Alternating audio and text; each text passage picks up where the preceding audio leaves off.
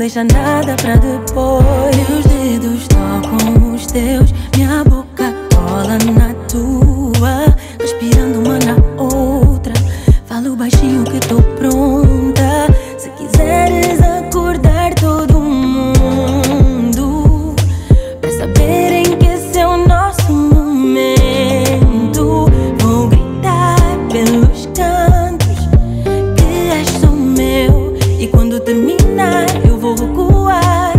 fazer de novo.